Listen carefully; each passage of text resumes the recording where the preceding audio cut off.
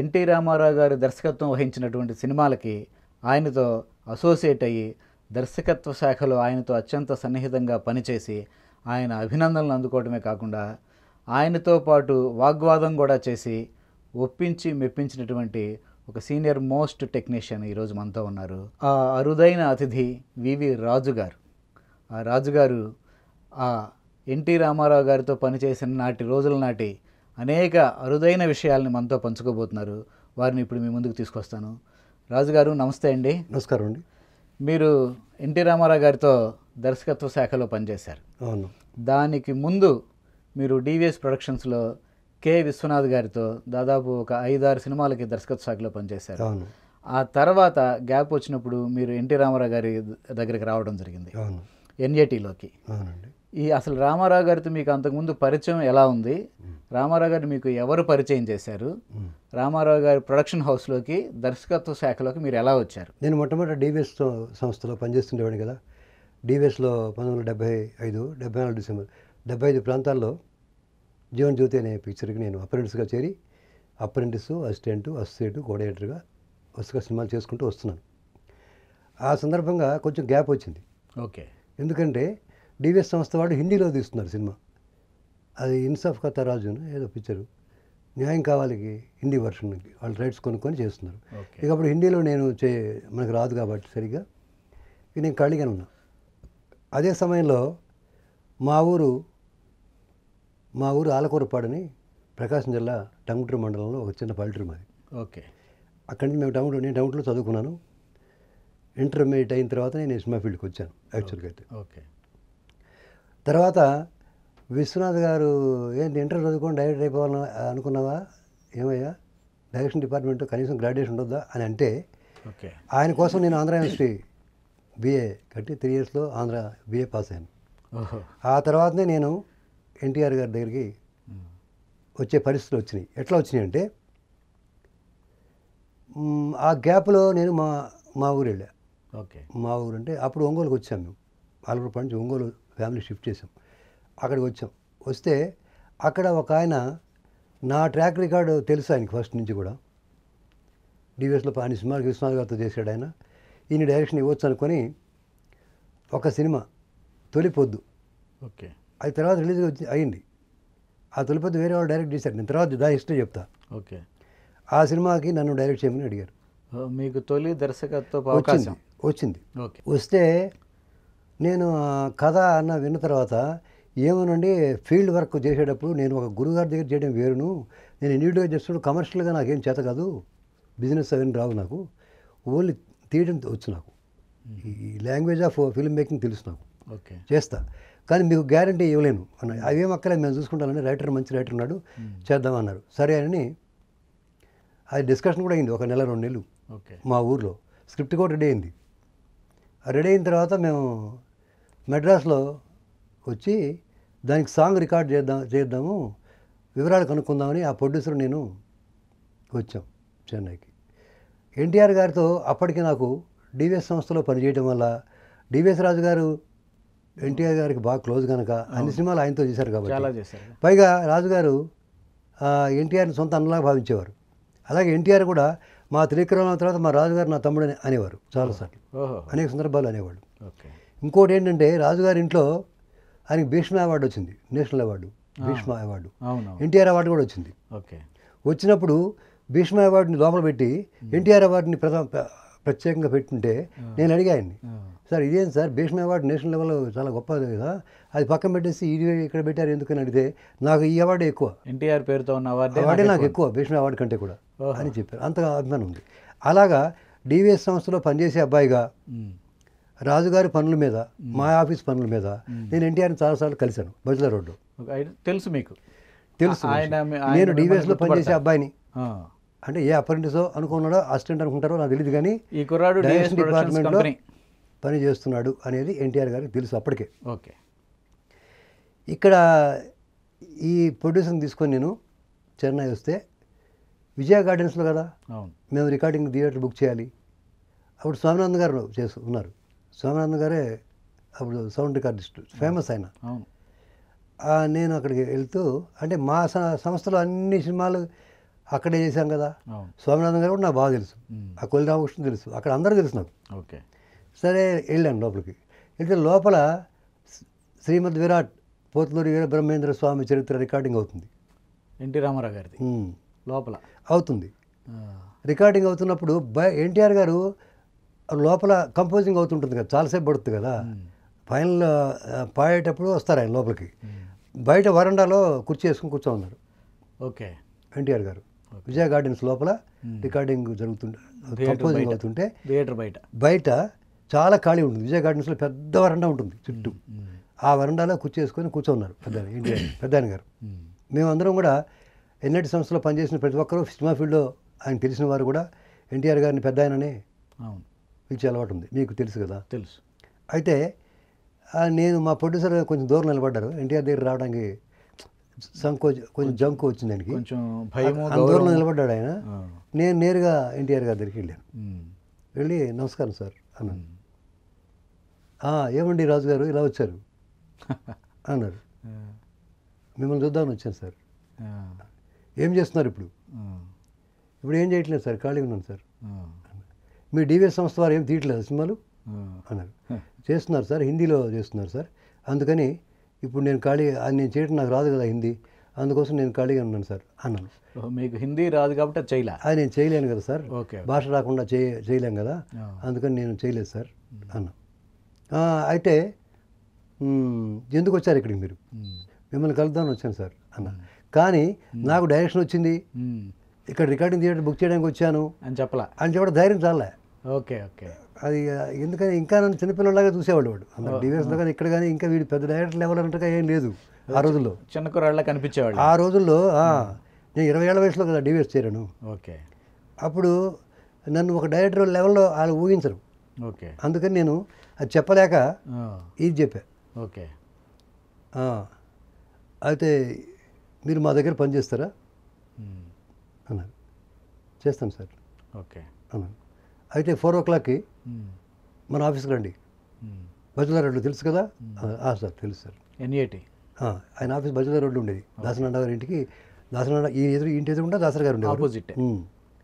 అదే రోడ్లో నీటి పక్క ఏవి సుబ్బారావు గారు అదే రోడ్డు క్రాస్ చేస్తే ఏవి సుబ్బారావు గారు ఇంకా ఆ చివరికి వెళ్తే ఏ శ్రీరంగారావు గారు అందరూ దాంట్లోనే. అటుపక్క హబీబుల్లా రోడ్ అని చెప్తారు అవును. ఇటుపక్క దాన్ని బజులా రోడ్ అని చెప్తారు. దానిలో అక్కడ రమ్మన్నారు ఫోర్ ఓ క్లాక్. అలాగే సార్ అని వచ్చేస్తుంటే మా నిర్మాత అడిగారు నన్ను. ఇదేంటి సార్ మీరు మా పిక్చర్ రికార్డింగ్కి వచ్చి. ఆయన కనపడగానే ఆయనతో వెళ్ళిపోతే ఇక మేమే ఇదేంటి ఎట్లా ఇట్లా చేస్తే మీరు. అన్నాడు. కాదు సార్. ఎన్టీఆర్తో చేస్తే చాలా గొప్ప కదా మీకు కూడా. అందుకని నేను పెద్ద గారు ఇప్పుడు నాకు ఇస్తే కనుక పని నేను ఈ సినిమా పని చేయను. మీ అడ్వాన్స్ మీకు ఇచ్చేస్తా. నాకు వద్దు. మీరు కనుక ఈ పిక్చర్ అయిన దాకా ఎన్టీఆర్తో ఒక పిక్చర్ చేస్తా. అది అయిన దాకా వెయిట్ చేశారు అనుకోండి అప్పుడు నేను డైరెక్షన్ చేస్తా మ్మ్. మీరు ఆగలేమంటారా మ్మ్. మీ ఇష్టం మీరు ఎవరిని పెట్టి చేసుకోండి ఓకే ఓకే అని చెప్పాను. సరే అయితే ఏ విషయం చెప్పండి అంటే ఐదు గంటలకు చెప్తానని చెప్పాను. ఆయన ఆ లాడ్జ్లో బృందావన్ హోటల్లో. దిగారు. మీ ప్రొడ్యూసర్ గారు అక్కడ ఉన్నారు వెళ్ళి ఆయన. నేను ఫోర్ ఓ క్లాక్కి ఎన్టీఆర్ దగ్గరికి వెళ్ళడానికి బయలుదేరితే నేను లిబర్టీ దగ్గర ఉండేవాడిని అప్పుడు ఓకే లిబర్టీ థియేటర్ దగ్గర టేలర్స్ ఎస్టేట్ సెకండ్ స్ట్రీట్ అని ఉంది. అక్కడ నేను బ్యాచర్కి ముప్పై రూపాయలు చేరా ఇంట్లో. ఓకే. ముప్పై నెలకి. థర్టీ రూపీస్ రెంట్ అంత ఫ్యామిలీ పెట్టినాక నూట ఇరవై ఐదు ఎంతో. లోపల వాళ్ళ ఇంట్లోనే ఇచ్చారు బయట కాకుండా. ఓకే. అక్కడి నుంచి వెళ్ళేవాడిని రోజు నేను. Twelve B. బస్సు కూడా గుర్తున్నాను ట్వెల్వ్ బి అనే ఆ, బస్ ఎక్కి- అక్కడ దిగి ఉస్మాన్ రోడ్డు దిగి. నడుచుకుంటూ ఎన్టీఆర్ దగ్గరికి వెళ్తే. అప్పుడు నాలుగు గంటలకు రమ్మన్నారు ఆయన. అవును. నాలుగు గంటల ఐదు నిమిషాలు అయింది. మీరు వెళ్ళేసరికి? ఫోర్ ఫైవ్ అయింది. Four five. నాలుగు గంటల ఐదు నిమిషాలు అయింది ఓకే.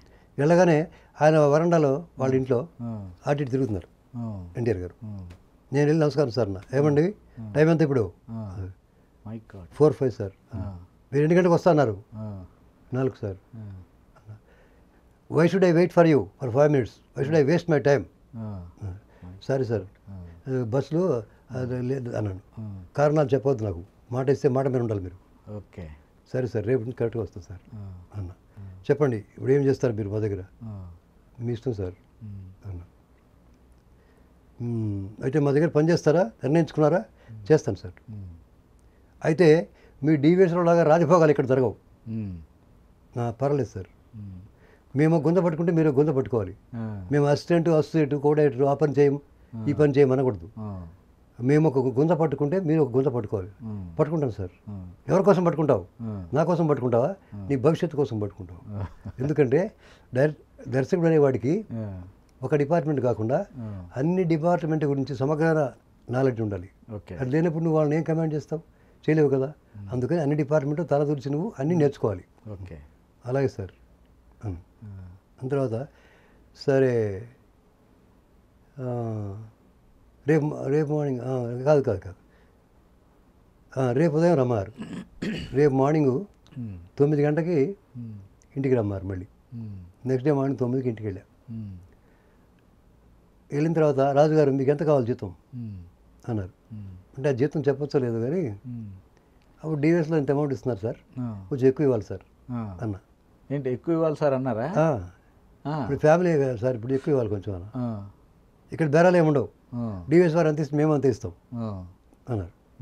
అలాగే సార్. పర్లేదు సార్. అన్నారు. అయితే సార్ నేను మంచి రోజు చూసి వస్తాను సార్. రేపు ఎల్లుండి మంచి రోజు చూసి వస్తాను సార్. మమ్మల్ని కలిసారు కదండి. ఎందుకంటే మంచి రోజు ఏమిటి ఎక్కడి బండి కారు వెళ్దాం. చెప్పలేదంటే అనకపోయారు నా మాట వెనక తప్పుదారిని నడిచిపోయారు. దాంట్లో ఒక ఒక చరణం ఏంటంటే మగవారి పెత్తనం దిగజారిపోయాను మగవాలే రాజ్యాలు ఏలేరయ్య. ఓకే.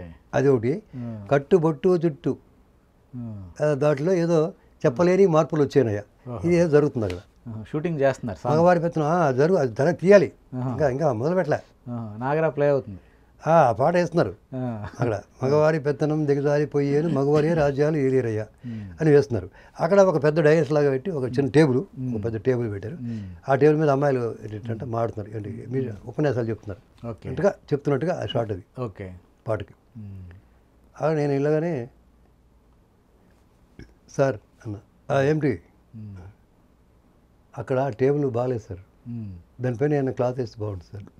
మీరు వెళ్ళంగానే ఈ పలాంది బాగాలేదని చెప్పేసి. అన్న అది బాగా చేయాలి అది బాగాలేదు సార్ అది వేస్తే బాగుంటుంది సార్ అన్న. రామారావు గారితో చెప్పారా మీరు? "ఆ, ఆయనకి చెప్పి అది వేస్తే బాగాలేదు సార్ అది. అంటే షూటింగ్ చేయబోతున్నారు ఆయన అందుకు "ఆ, ఆ, నేను ఆ, కొన్ని సార్ అది బాగాలేదు సార్ అన్న. అయితే మీరు తెప్పించారా? అన్నాడు. నాకు తెలియదు తెలియదు సార్ ఇప్పుడు ఏంటి క్లాత్ తెప్పించారా ఓకే. మన డ్యూటీ కదా అది. ఆయన అంటే అట్లా ఉంటుంది అయింది అదే డైరెక్షన్ డిపార్ట్మెంట్ కదా స్వచ్ఛంగా ఉంటాడు ఆయన పసిపెట్టలాగా ఆయన.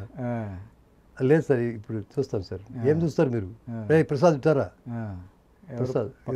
నందమూరి సత్యప్రసాద్ అని అతను ఎయిటింగ్ డిపార్ట్మెంట్ ఉండేవాడు. ఎయిటింగ్ కాకుండా ప్రొఫెషనల్ ఎగ్జిక్యూటివ్గాను దానికి. Okay okay.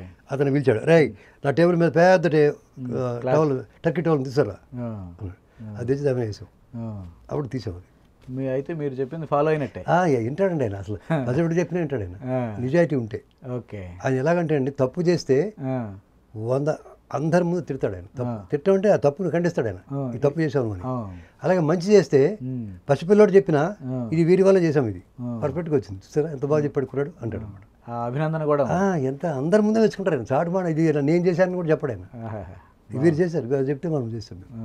అంటారు అనమాట అంత వెరీ ప్యూర్ ఆ- ఆ టైంలో ఏదన్నా ఆయనకి మీకు ఏదన్నా మాట పట్టింపు కానీ లేదా మీరు చెప్పింది తప్పు అవటం కానీ అలా జరగడం ఏదన్నా ఉందా? అలాంటివి ఉన్నాయి ఫ్యూచర్లో చాలా ఉన్నాయి చెప్తా కానీ ముందు చేరాలి కదా.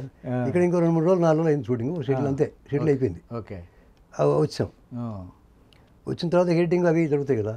అవి అయిన తర్వాత ఒక రోజు మన ఫైవ్ డే రాజుగారు మనది నెక్స్ట్ పిక్చర్ చండశాస్త్రం ఉంటుంది డిస్కషన్లు అవుతున్నాయి. మీరు కూడా మాతో వస్తారు ఊటీకి. అన్నారు. మీరు కూడా మాతో వస్తారు. ఊటీకి అన్నారు. ఉమ్. "ఆ, సార్ ఎట్లా సార్? నేను ప్రిపేర్ అవ్వలేదు సార్ ఊరికి వేస్తాను సార్. అన్నాను. సరే వెళ్ళండి. ఊరికి వెళ్ళండి. నెక్స్ట్ మంత్ ఫిఫ్త్ని వెళ్తున్నాం మనం. మీరు వచ్చేయండి. మనం ఊటీ వెళ్దాం. ఓకే. అలాగే సార్ అన్నాను అంటే ఆ ప్రసాద్ చెప్పాడు రాజు నువ్వు కరెక్ట్గా రావాలి పెద్ద కోపం వస్తుంది. టైం అండ్ టైం ఏమో నీ ఇష్టం అన్నాడు. అలాగే వస్తాను. నేను ఊరికి వెళ్ళి మళ్ళీ ఆయన చెప్పిన సమయానికి వెనక్కి వచ్చేసారు వచ్చాను. నేను వచ్చి దిగాను మా ఆఫీస్కి వెళ్తే పెద్దన్న గారు వెళ్ళిపోయి వెళ్ళిపోయి వెళ్ళిపోయి స్టేషన్కి వెళ్ళి స్టేషన్కి వెళ్ళి అన్నారు. ఆ, అన్నారు ప్రసాద్. అయ్యో. అక్కడి నుంచి ఆటో వేసుకుని డైరెక్ట్ స్టేషన్కి వెళ్ళి ఆ ఎక్స్ప్రెస్ ఒకటి కోయంబత్తూరు మీదుగా వెళ్ళి ఊటీ వెళ్ళాలంటే ఏదో ఎక్స్ప్రెస్ అప్పుడు. Question express. Yes okay. Question express అనేది ఉంది. కొచ్చిన్ క్వశ్చన్. Express question.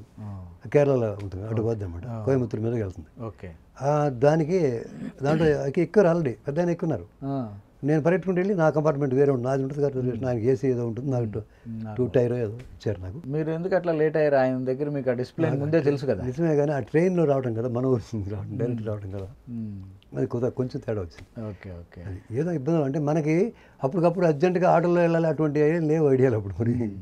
ఎట్లా ఒకటి అవుతుంది ఆ టైంకి సరిపోతుంది అనుకున్నాం. అదే అదే. వచ్చాను. ఆయన ఉందిగా. నేను వెళ్ళిందా ట్రైన్ ఉంది. ఓకే. కానీ కొంచెం ముందు వెళ్ళుంటే పది నిమిషాలు బాగుండేది ఆయన ఆయనతో ట్రావెల్ అయ్యి ఉండే ఉండేది ఒక పది నిమిషాల ముందు వెళ్ళకుండా ఆయనకి రిజిస్టర్ అయ్యేవాళ్ళు మీరు వచ్చారు. ఆయన ఇష్టం. ఇప్పుడు ఆయన వేరే కంపార్ట్మెంట్ ఉన్నారు నేను వేరే కంపార్ట్మెంట్. నేను ఎక్కాను. నా కంపార్ట్మెంట్ నా నా బెడ్ బెర్త్ పైన పడుకున్నాను మ్మ్. అయితే మధ్యలో ఎక్కడ దిగినప్పుడు. పెద్దాయన గారిని కంపార్ట్మెంట్ నాకు చెప్పాడు కదా ప్రసాద్. నేను వెళ్ళి పెద్ద నమస్కారం పెట్టి వచ్చా రిజిస్టర్ అయ్యారు తెలుసు వచ్చాను తెలుసు. కోయంబత్తూరులో దిగారు లేకుండా మూడు గంటలకి. దిగారు. తెల్లవారుజామున. మూడింటికి మ్మ్. త్రీ ఓ క్లాక్ దిగారు. దిగితే నేను నా- ఆ ముందు ఉంది ఆయన కంపార్ట్మెంట్. నేను రెండు నాలుగు కంపార్ట్మెంట్ దాటి ఆయన దగ్గరికి వెళ్ళాను. అక్కడ ఆగారు ఆయన నా కోసం. ఓహో. ఆయన చుట్టూ ప్రొడ్యూసర్లు అందరూ. అక్కడ ఆగి ఉన్నారు. రాజుగారు రండి మీకోసం చూస్తున్నాం. రండి వెళ్దాం. అదిలే అక్కడ ఆయన ప్రొడ్యూసర్స్ అంతా వెయిట్ చేస్తున్నారు ఏం ఊటీ ఏంటి programme? Justice Chowdary shooting. సాంగ్సా? Songs. Okay okay. కొన్ని సీన్లు సాంగ్స్. జస్టిస్ చౌదరి షూటింగ్ టైంలో చండశాసన్ డిస్కషన్. అవుతుంది. ఓకే. దానికి ఎవరో టీ తిరువిక్రమరావు గారు ప్రొడ్యూసరు. రాఘవరావు డైరెక్షన్. అది చౌదరి జస్టిస్ చౌదరికి. టీ తిరువిక్రమరావు. అదే విజయలక్ష్మి ఆర్ట్స్. ఆయన ప్రొడ్యూసర్ దానికి. రాఘవేంద్ర గారు డైరెక్టర్. రాఘవేంద్ర గారు డైరెక్షన్. సరే అని ఆడికి వెళ్ళగానే బయటకి స్టేషన్ నుంచి బయటకు వచ్చాము. రాగానే కార్లు పెట్టిన వరుసగా ప్రొడ్యూసర్ గారు ఆయన వచ్చాడు. త్రివిక్రమరావు వచ్చి సార్ కారు ఆయన కారు ఉంది పెద్ద ఆయన కారు ఆయన కారు ఎక్కబోతుండగా రాజుగారు మీరు రండి అని అన్నాను ఆయనతో నన్ను అన్నాడు. త్రివిక్రమరావు. త్రివిక్రమరావు. రాజుగారు మీరు రండి. ఇదిగో ఈ కారు మీకు.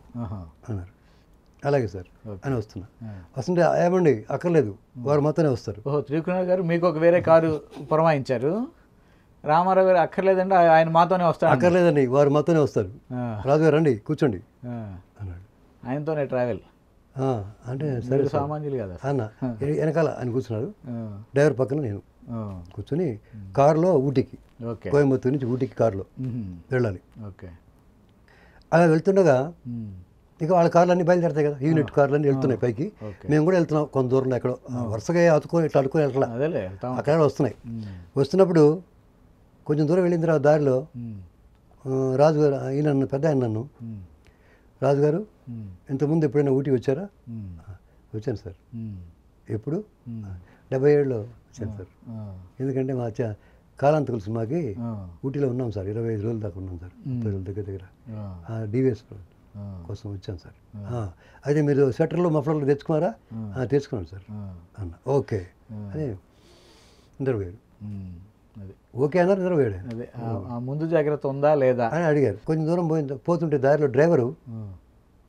Sir tea sir tea అంటున్నాను ఆ. టీ తాగుదాం అంటున్నాడు ఇక్కడ నాపి అతను తాగాలనే అన్నాడు నాకు భయం పెద్ద ఆయన నేను. అలా పోయి పోయి నాలుగు సార్లు అడిగేతను. ఒకరోజు ఆపేశాడు కారు. ఆపి దిగి వెళ్ళిపోయాడు. టీ తాగి వస్తుంది ఆ. పెద్దాయన గారు లేచారు కళ్ళు తెరిచారు. ఆగేసరికి ఆగే కళ్ళు తెరిచి రాజుగారు ఏంటి. అన్నారు. డ్రైవర్ టీ తాగుతాను వెళ్ళాడు సార్. మీరు కూడా వెళ్తారా. నాకు వద్దు సార్. ఓకే మళ్ళీ ఉంటారు పేరు అంటే ఎంత ప్యూరిటీ చూడండి. అదే డ్రైవర్ హీరోని వదిలిపెట్టి వెళ్తే ఊరుకుంటారా ఎక్కడ అవును. ఇంకోరైతే అంత పెద్ద రేంజ్ హీరో. తను వదిలేసి వాడు టీకి పోతే ఆ. ఊరుకుంటారా అసలు? ఎన్ని గొడవలు పెట్టుకుంటారో. అదొక పెద్ద గొడవ పెద్ద ఇష్యూ అయిపోద్ది అది. వాడు వెళ్తే వెళ్ళారు మీరు కావాలంటే వెళ్ళండి రాజు గారు ఎంత పర్లేదు. నాకు అక్కర్లేదు సార్. ఆ. అన్నాను కూర్చున్నాం. మళ్ళీ అలా వెళ్ళాం. పోతుంటే అంటే దాదాపు అప్పుడు నాలుగు ఎంత అయింది నాకు గుర్తులేదు సుమారుగా. సుమారుగా చెప్తున్నా. దాదాపు నేను పైకి వెళ్ళేటప్పటికి. ఐదున్నర ఎంత అయింది ఓకే. అది. ఫైవ్ థర్టీ అయింది ఎక్కడికి? ఊటీ. వెళ్ళాం. ఊటీలో ఎక్కడికి వెళ్ళాము? Savoy hotel suite number one. దాని ముందు ఆగాం. Savoy hotel. సవాయ్ హోటల్ అనేది ఉంది. ఓకే. ఆ సవాయ్ హోటల్లో ఆ. సూట్ ఎంత ఉంటుందో ఒక ఇల్లు అది. సూట్ అంటే అదే ఈయనకి ఇచ్చారు ఎన్టీఆర్కి. పెద్ద ఇల్లు. Suite number one. అది ఎలా ఉంటుంది ఒక హాలు. హాల్ తర్వాత ఒక ఒక బెడ్రూమ్. దాని తర్వాత ఇంకో బెడ్రూమ్. ఆ. తర్వాత వెనకాల బాత్రూమ్. ఇంకో సిట్టింగ్ రూమ్ బయట వాళ్ళ కోసం. వరండా. ఇట్లా ఉంటుంది. ఇది సూట్ అంటారు దీన్ని. ఓకే. అక్కడ ఆయనకి ఇచ్చారు అది. ఓకే. ఆ. రూమ్ ఆ. మీరు పక్కన? అది చెప్తా అదే అక్కడ దిగి. కారు అక్కడ ఆగారు. రాజుగారు మీరు రండి అన్నాడు మళ్ళీ. ఎవరు? త్రివిక్రమరావు అంటే ఎక్కడికి? అన్నారు పెద్ద గారు. ఓకే. రాజుగారికి బృందావనంలో బుక్ చేశాం సార్. ఓకే అన్నారు. అవసరం లేదండి. వారు మాతోనే ఉంటారు. సార్ నేను మీతో ఉండను సార్. నేనన్నా. మీరన్నారా? నేనన్నా. Sir sir. మాతో ఉంటారని చెప్తే మీరు ఉండనని ఎలా అంటారా సార్ మీతో ఉండను సార్ ఎందుకంటే మీకు ఇబ్బంది అవుతుంది కదా సార్. నేను అంటాం. మీకు ఇబ్బంది అవుతుంది కదా సార్? మీకు ఇబ్బంది అవుతుంది సార్. నేను వెళ్తాను సార్. పో లోపలికి ముందు. పో లోపలికి ముందు. అంటే ఇక మాట్లాడడం లేదు. అంతే అయిపోయింది. అది ఇంకెదురు చెప్పకూడదు. అంతే కంక్లూజన్ అది. సైలెంట్ లోపలికి వెళ్ళా. లోపలికి వెళ్తే అక్కడ ఏం మగ్గులు బకెట్లు ఏం లేవు. లోపల. అంటే క్లియర్ చెప్తున్నా ప్రతి ఒక్కటి. బాగుండటం కోసం చెప్తున్నా ఇది అంటే రియాలిటీ చూస్తున్నట్టు కళ్ళ కట్టినట్టు ఉండాలి కదా. అందుకే లోపలికి వెళ్ళాను నేను. ఆ, లోపలికి బాత్రూమ్కి వెళ్ళి చూశాను. అక్కడ ఏం లేవు. మగ్గులు గిగ్గులు ఏం లేవు. టిష్యూ పేపర్లు. బకెట్లు ఏం లేవు. ఆ, తిప్పి అన్ని షవర్లు గేవులు అన్నీ ఉన్నాయి. నాకు అర్థం కాదు ఎట్లా చేద్దాం బాబు పాస్ వెళ్ళాలని భయంగా ఉంది. ఆ, ఎట్లా ఎట్లా ఉంటుందో ఇక్కడని వచ్చి గమ్మని బయట నిలబడ్డా హాల్లో. ఆ, పెద్దమ్మ గారు లోపలికి వెళ్ళారు. బయట చూసి బాత్రూమ్ రేయ్ అప్పారావు అంటే అప్పారావు ఉండేవాడు పెద్ద అసిస్టెంట్. అంటే మేకప్ అసిస్టెంట్ అతను. ఓకే. అతను కూడా పెద్దానికి కూడా అన్ని అందు అందిస్తూ చేసేవాడు. ఆ, రే అప్పారావు ఏమి రా లోపల బకెట్ లేవు బకెట్ తెచ్చిపెట్టరా ఎక్కడ ఎక్కడ పోవాలి మేము? ఏమిటది? టిష్యూ పేపర్లు పెట్టి తీసేయాలి పడే. మన వాళ్ళు అన్ని మన ఊరు పత్తులో బకెట్లు గిగ్గిళ్ళు ఇంకా అన్ని మగ్గులు గిగ్గులు అన్ని తెచ్చి పెట్టారు. ఓకే. అప్పుడు పెద్ద ఆయన వెళ్ళి వచ్చిన తర్వాత నేను కూడా స్నానం చేసి వచ్చాం. రాజుగారు కాసేపు డిస్కస్ చేద్దామా? చేద్దాం సార్. బుక్ తీసుకోండి. మీరు మీరు వెళ్ళిన పనే డిస్కస్ కదా. అక్కడ పెట్టిన తీసుకోండి పుస్తకాలు ఆ. రెండు బుక్స్ ఉన్నాయి టూ బుక్స్లో చండశాస్త్రం మొత్తం స్క్రిప్ట్ క్లియర్గా ఉంది. అక్షరాలు ప్రింటింగ్ కంటే అందంగా ఆయన రాశారు స్వయంగా. ఆయన ఆ, ఓకే. ఆయన స్వయంగా రాసుకున్నారు స్క్రిప్ట్ మొత్తాన్ని. అంటే రైటర్ ఎవరో? ఉమ్. పరుచురి వాళ్ళు రాశారు. గోపాలకృష్ణ ఇద్దరు రాశారు. అవును. దాన్ని ఆయన రాసుకున్నారు మళ్ళీ రాసుకుంటారు. ఎన్టీఆర్ ప్రతి పిక్చర్కి ఆయన మొత్తం పిక్చర్ స్క్రిప్ట్ ఆయన రాసుకుంటారు. ఆయన డైరెక్షన్ చేసే వాటికి ఆయనే రాసుకుంటారు ప్రతి అక్షరాన్ని. ఓకే. ముత్యాల్లా ఉంటాయి. అవును. ఆయన అక్షరం. అవును అవును అది తీసుకోండి. అన్నారు. చూసి చూసా రాజుగారు మీ రాత బాగుంటుందా?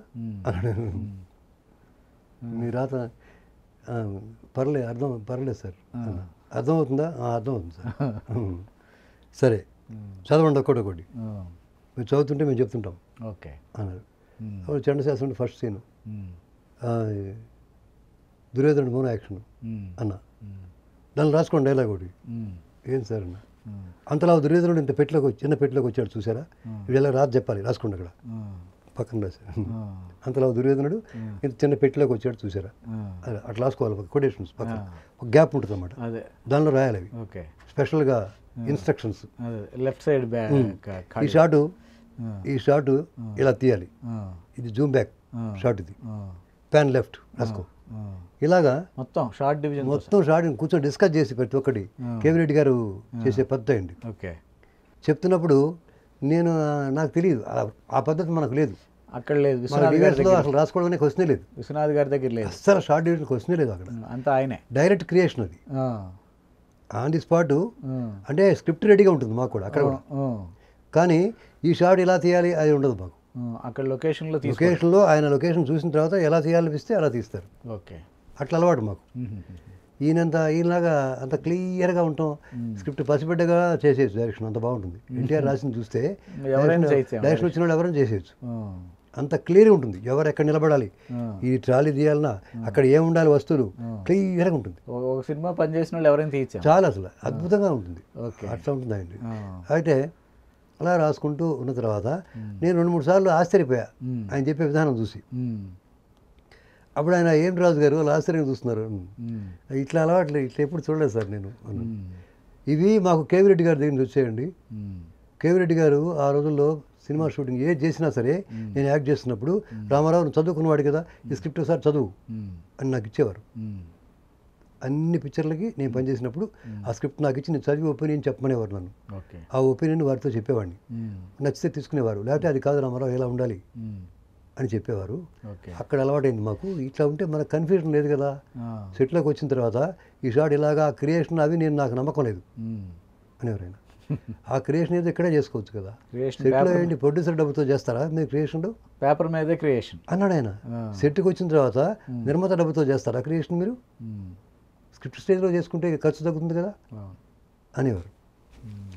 అలాగా చెప్తుండేవారు ఒక్కోడు ఒక్కోటి మ్మ్. ఇంకోసారి ఒక రోజున మ్మ్. రాఘవేంద్ర గారు వచ్చారు మ్మ్. పగలే తొమ్మిది ఉదయం తొమ్మిది ఎనిమిది గంటలకు ఆరు షూటింగ్ లేకనేమో ఉమ్. ఎనిమిది గంటలకు ఉమ్. రాఘవేంద్ర గారు వచ్చారు మీరు కూడా ఉన్నారు అప్పుడు నేనున్నా నేను కూర్చున్నాను ఇట్లే మ్మ్. మన ఇద్దరం కూర్చున్నట్టే పెద్ద గారు ఆడ కూర్చొని నేను కూర్చొని రాసుకున్నా డిస్కషన్ జరుగుతుంది ఆ, చెప్తుంటే రాసుకోవాలి కదా. షార్ట్ ఇది రాస్తే ఆయన చెప్తే ప్యాన్ లెఫ్ట్ షార్ట్ కాన్ ట్రాలీ ట్రాలీ అని చెప్పి రాస్తున్నా. అప్పుడు రాఘవేంద్ర గారు వచ్చారు నేను గమ్మున రా రాసుకుంటున్నా గమ్మున. ఆయన వచ్చారు రాఘవేంద్ర గారు పెద్ద ఒక ఐదు నిమిషాలు మాడి వెళ్ళిపోయారు. వెళ్ళిపోయిన తర్వాత. ఎన్టీఆర్ గారు నన్ను అడిగారు ఉమ్. రాజు గారు ఉమ్. వారెవరో మీకు తెలియదా. తెలుసు సార్. వారిని పలకరిస్తే మీ సొమ్ము ఏమన్నా పోయిందా. అన్నారు. "అది- కాదు సార్. మీరు చెప్తుంది రాసుకున్నా కదా సార్. మధ్యలో ఎవరిని రాగానే.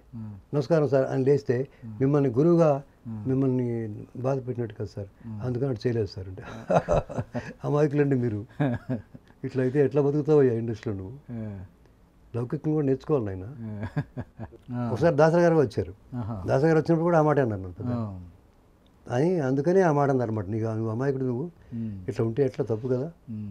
అని అంటే సరేలే సార్. అదే అందరితో కాస్త పరిచయం చేసుకోవాలి. అనే ఉద్దేశం. కొంచెం లౌక్యం కూడా పెద్దవాళ్ళు పలకరిస్తే "ఆ, పలకరిస్తే నీదేం పో నీ సొమ్మేం పోయిందని అడిగారు కదా. వారిని పలకరిస్తే నీ సొమ్మేమన్నా పోయిందా. అని అన్నారు కదా. ఓకే. సరే. అలాగా డిస్కషన్ అవుతుండగా షార్ట్ గురించి ఎలా డివైడ్ ఎలా చెప్పేవారంటే ఆయన? ఉమ్. ఒక దాంట్లో ఒక షార్ట్ చెప్పేవారు నాకు. దీన్ని ఎలా తీస్తే బాగుంటుంది. అనేవాడు నన్ను. మిమ్మల్ని "ఆ, ఎలా తీస్తే బాగుంటుంది చెప్పండి నా తెలి నాకేం తెలుసు సార్. మీరు తెలియదు రేపు పొద్దున ఏం ఉద్ధరిస్తావు నువ్వు. ఏం డైరెక్షన్ చేస్తావు తెలియకుండా. అది క్లోజ్ షాటా మిడ్ షాటా లాంగ్ షాటా జూమ్ బ్యాకా ట్రాలీనా చెప్పాలి కదా ఆ. "ఉమ్, నాకు తెలియదు సార్. సరే మేము చెప్తాం వినండి. దీన్ని జూమ్ బ్యాక్ చేసామనుకో జూమ్లో. ఒక్కరే ఒక యాంగిలే ఉంటుంది. ఒక యాంగిలే ఉంటుంది. ఉమ్. ఒక్కరిదే వస్తుంది. ఇప్పుడు ఇక్కడ ఐదుగురు నలుగురు ఉన్నారు కూర్చొని ఇక్కడ సెమీ సర్కిల్లో ఉన్నారు.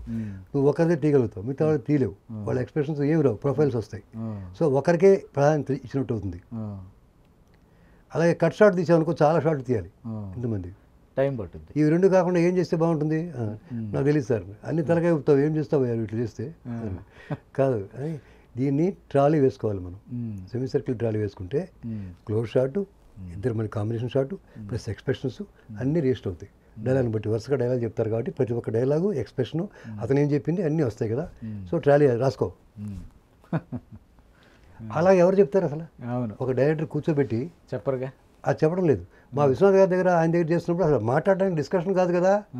అస్సలు అది మాట్లాడడానికి కూడా వీలేదు నీ పని నువ్వు చేయాలి తప్ప.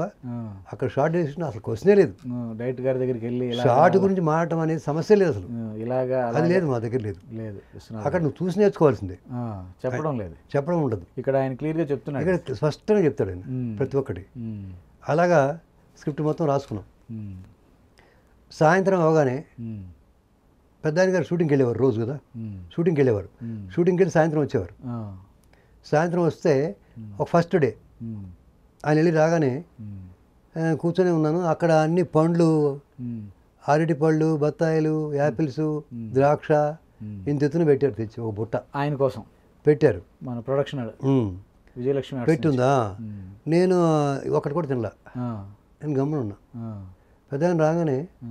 రాజుగారు ఏమిటని ఎక్కడెక్కడ పెట్టారు మీరు. ఏం సార్.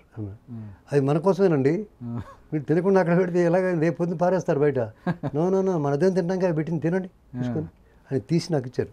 అబ్బా. తినండి. ద్రాక్ష తిను ఏం కావాలి నీకు ఇట్లో? నాకు అసలు ఏమవుతుంది సార్ తినవయ్యా బాబు ఏంటా భయం నీకు? పిరికి వాళ్ళు ఉన్నావు. తిను.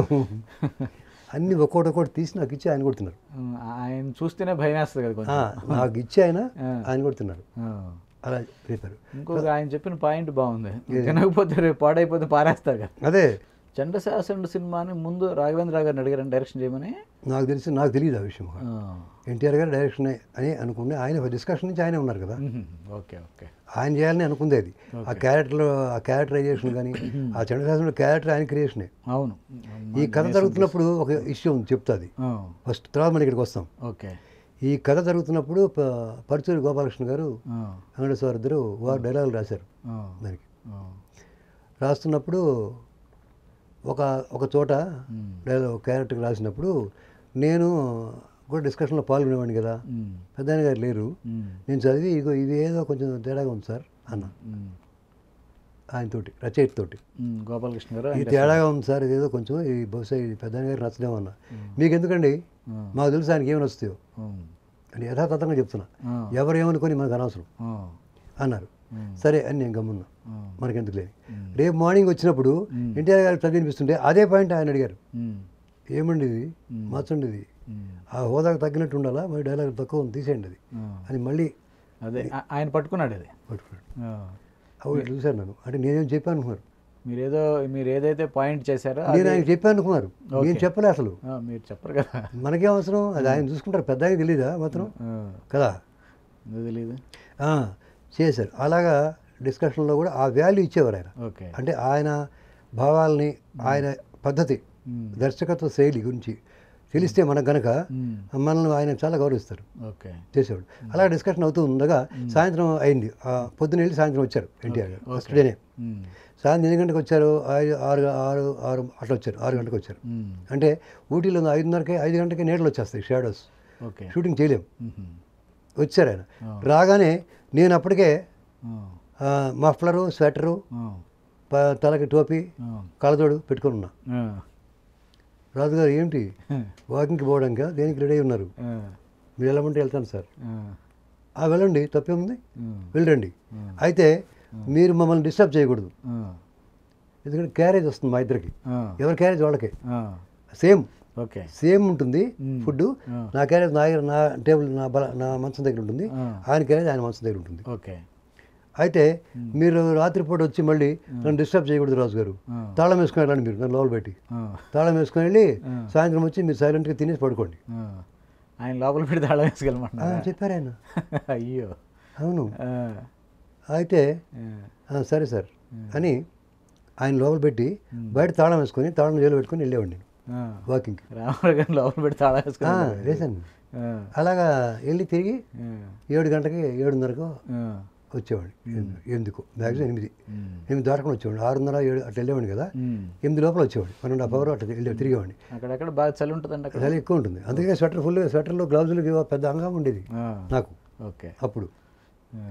వచ్చాను. టోపీ కూడా ఉండేది. అప్పుడు ఇట్లా టోపీ కాదు వేరే మంకి పెట్టుకొని వెళ్ళేవాడిని. ఓకే. వస్ రాగానే చిన్నగా తలుపు తీసుకొని పెద్ద గారు పడుకొని ఉంటే మళ్ళీ లోపల గడిపెట్టి నా రూమ్కి వెళ్ళి ఎలా ఉండేది పడుకునే విధానం ఉమ్, తలుపు తీయగానే హాల్ కదా? హాల్ దాటిన తర్వాత ఎన్టీఆర్ ఇల్లు ఎన్టీఆర్ రూమ్ ఆ, తర్వాత నా రూమ్ నా రూమ్ తర్వాత బాత్రూమ్ లెట్రిన్ రెండు బాత్రూమ్ లెట్రిన్ లేవు. ఒకే బాత్రూమ్ వాష్రూమ్ ఒకటే ఉంటుంది.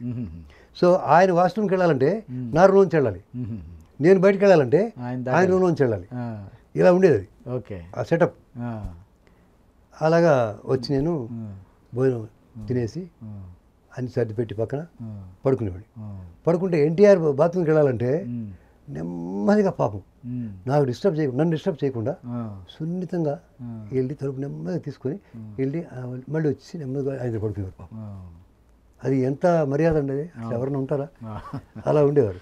అలా ఉంటే మార్నింగ్ ఆ రోజు first day first day morning డిస్కషన్కి చేసేవాళ్ళం. రోజు నాలుగున్నరకి డిస్కషన్ స్టార్ట్ చేసేవాళ్ళం. తెల్లవారుసామున అప్పుడు నేను నిద్రపట్ల నాకు. ఫస్ట్ డే భయం కదా. సింహం పడుకొని ఉంటే పక్కన ఎవరో ఇంకా మాడేది గడగ నిద్రపట్ల తెల్లవారు అటు ఇటు బొలుతున్నాడు నిద్రపట్ల నాలుగున్నరకి పెద్ద గారు పిలిచారు లేచి. రాజుగారు అన్నారు. సార్ అని ఊరికి మొహం కలిసి అనుకొని వచ్చి కూర్చున్నా పక్కన తీయండి బుక్కు. ఆ, తీసి కూర్చున్నా. స్నానం చేశారా? చేయలేదు సార్. ఎందుకని? అన్నారు. ఐస్ వాటర్లా ఉన్నాయి సార్ నీళ్ళు నేను చేయలేను సార్. "ఆ, వేడి నీళ్ళు ఎప్పుడు వస్తాయంట? ఉదయం ఏడు గంటలకు వస్తాయి సార్. నేను చేయను సార్ అప్పుడు చేస్తా సార్. అంటే ఏం చేస్తాం నాయన? వేడి నీళ్ళు ఏంది స్నానం చేయలేని దౌర్భాగ్యస్థితిలో ఉంది మన యువత. మీరు ఏం ఉద్ధరిస్తారు దేశాన్ని? ఒక పంచి పడింది మీకు. అప్పటికి ఆయన అప్పటికి ఆయన నాలుగు గంటలప్పుడు ఆయన ఒంటి మీద ఏం లేవు. ఒక లుంగి కట్టుకున్నారు అంతే. స్నానం చేసి ఆ బట్టలు లేకుండా కూర్చున్నారు వచ్చి. నాలుగున్నరకే. చేసేసి. ఎంత చలి అంటే ఇటు తిప్పితే ట్యాప్ మీకు వయసు మొక్క బడి తర్వాత నీళ్ళు వస్తాయి. మీకు ఊటీలో అప్పుడున్న పరిస్థితి. మేము వెళ్ళినప్పుడు మీరు షాప్కి వెళ్ళి కొబ్బరి నూనె ఇవ్వమంటే ఉమ్, కొబ్బరి నూనె సీసాల్లో ఇచ్చేది కాదు. సోప్ లాగా ఉంటుంది. కట్ చేసి మొక్కిస్తారు. అదే కొబ్బరి నూనె. యాభై గ్రాములు. దాన్ని తీసి చేతిలో పెట్టుకొని అనుకొని రాసుకోవాలి.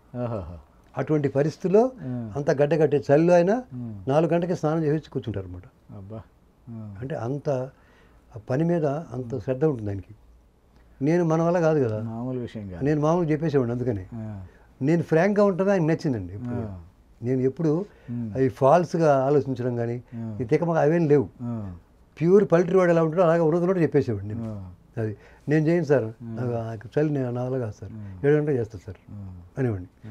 సరే అలాగ డిస్కషన్ మళ్ళీ ఒక రెండు గంటలు. గంట డిస్కషన్ మళ్ళీ మేకప్ వాళ్ళు రావడం వాళ్ళు మేకప్ వేసి డ్రెస్ వేసుకుని వెళ్ళడం. ఒక రోజున. త్రివిక్రమ గారు వచ్చారు నిర్మాత గారు ప్రొడ్యూసర్ గారు. రేపు రేపు మధ్య హాఫ్ డే ఫ్రీ ఉంది కదా ఖాళీ ఉంది కదా. మా రాజుగారు పాపం ఎట్లా తిరిగి వస్తారు లోపల ఊటీకి ఉమ్. ఏం తెచ్చుకుంటారు కావాలంటే వారికి ఒక కారు అరేంజ్ చేయండి ఆయనే పురమాయించాడు పెద్ద వెళ్ళిపోయిన తర్వాత. త్రివిక్రమరావు నా దగ్గరికి వచ్చి. ఒక కారు ఇచ్చి. ఒక అమౌంట్ నా నెల పదిహేను రోజులు జీతం అమౌంట్. ఇచ్చి. నా జేబులో పెట్టి మీరు వెళ్ళి ఏమైనా కావాలి కొనుక్కోండి సార్. అంటే అమ్మ నాకు వద్దు సార్ మా పెద్ద ఇస్తారు సార్ డబ్బులు వద్దు సార్ భలేవారు మీరు మా గెస్ట్ సార్. ఎగ్జాక్ట్ వర్డ్స్ చెప్తున్నా. అనమాట. మీరు మా గెస్ట్ అండి అట్లా అనొద్దు మీరు. డబ్బులు తీసుకొని ఏం కావాలి కొనుక్కొచ్చుకోండి సార్. అని అన్నారు. నేను ఆ కారు పెట్టుకొని కారు అసలు నేను వాళ్ళ నేనేం కొనుక్కోలే? నేను అక్కడే కూర్చున్నాను చెప్తున్నాను ఆ డబ్బులు తీసి వాళ్ళు పెట్టుకుని మన మధ్యతరగతి మనస్తత్వాలు మీకు తెలుసు కదా? ఆ డబ్బులు తీసి వాళ్ళు పెట్టుకొని. దానిలో ఇరవై రూపాయలు ముప్పై రూపాయలు జైలు పెట్టుకున్నా. ఆ. సాయంత్రం పోయి కొనుక్కున్నాను ఆ కారు అబ్బాయికి చెప్పాను ఇంకొద్దు నేను వెళ్ళిపోను. నాకు అక్కర్లేదు. నేను పోయి తెచ్చుకుంటాను నడిచేయండి. అని చెప్పాను. ఇలాగా వారం రోజుల పాటు ఎన్టీఆర్ గారిని రూమ్లో పెట్టి. నేను తాళం వేసి వెళ్ళేవాడిని. రోజు. ఒకరోజు ఆ రోజు సాయంత్రం అప్పుడు. తారకమ్మ గారు ఫోన్ చేసేవారు. అక్కడ హోటల్ ఏడు గంటకు అట్లాంటప్పుడు ఎప్పుడో ఒకరోజు చేస్తే అదే ఏకుందావనం నాకు బహుశా ఏకుందావనే కావచ్చు. నాలుగున్నర ఆ ప్రాంతాల్లో ఉంటాను. ఆయన అప్పుడు లేస్తారుగా ఐదు గంటప్పుడు. ఫోన్ చేసి ఆమె అడుగుతుంది ఒకరోజు నేను వింటున్నా. ఆ. కుర్రాడు ఎవరు ఎందుకు పెట్టుకున్నారు రూమ్లో మీరు. అని అడుగుతున్నారు ఆ. కుర్రాడు మంచి కుర్రాడు తారకం. డీవీఎస్లో పనిచేశారు. దూరంగా ఉంటే డిస్కషన్ కష్టమని మా దగ్గరే పెట్టుకున్నాం. ఆ- డిస్కషన్ అయిపోయింది. ఏడు రోజులు. ఉన్నాం అక్కడ. ఆ స్క్రిప్ట్ దాదాపు మొత్తం అయిపోయింది. ముప్పై స్క్రిప్ట్ చేస్తాం మీద. రాసుకోవడం అయిపోయింది. కరెక్షన్స్ అయిపోయింది. అయిపోయిన తర్వాత రాజుగారు మీరు వెళ్ళిపోండి మేము ఫ్లైట్లో వెళ్తున్నాం. మీరు సాయంత్రం దాంట్లో వచ్చేయండి వచ్చేయండి మీరు. ఎల్లుండి నుంచి మనం షూటింగ్ చేద్దాం. మళ్ళీ నెక్స్ట్ షెడ్యూల్. అది. అన్నారు?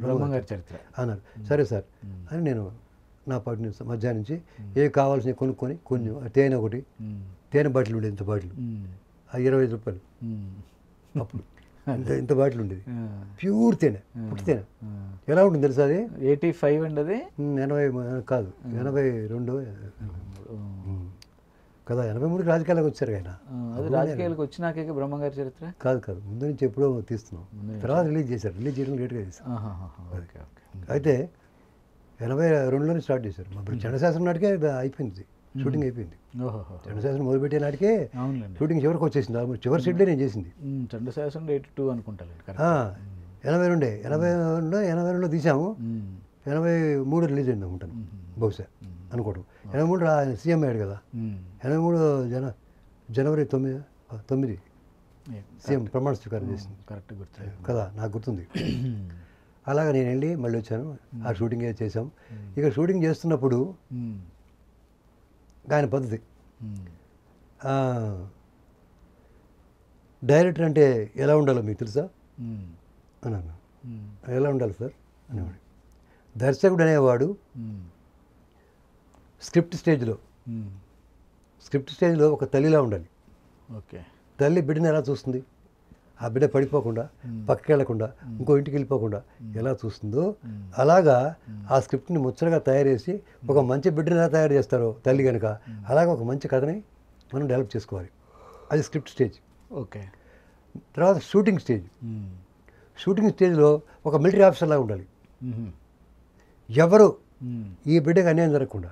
ఈ కథకి పాడవకుండా ఎవరి మాట వినకుండా తను అనుకున్న మాత్రం చేయాలి. ఓకే.